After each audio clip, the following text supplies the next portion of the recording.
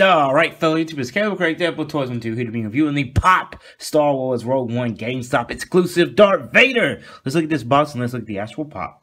Alright, GameStop exclusive. Star Wars Rogue One number 157. Nice little picture of big-headed Darth Vader here. One side you get Darth Vader saying pop. Where's his lightsaber? On the other side it just says Darth Vader through there with the top of his head. On the back it shows the rest of the pops from this wave and it shows a lot of different pops from Rogue One. Hey Disney, is Darth Vader gonna have to choke a hater? Alright, here's Darth Vader of the box, looking very cool. It says Star Wars at the bottom. And he is permanently attached to the glossy black stand. It's looking awesome. I love how shiny he is. There you see it has his huge brown eyes.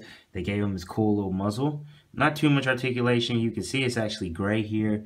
At the bottom, there's a small little vent. You can see it's more like a bobblehead. Wiggle, wiggle. Looks very cool. Line at the top going through the middle. Looks very nice. Main detail to me is on the chest plate and the belt. As you can see, they actually put green and red in there. I do like how that was. It'd be cool they made an LED pop that could actually light up. Here, the two little uh, kind of like curtains on the side are going down.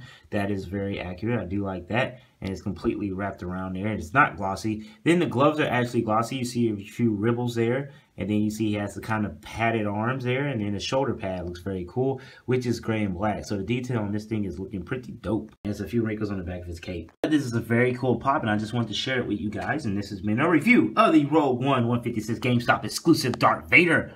Hope you guys enjoyed my very quick review. I'll see you guys future videos. Bye.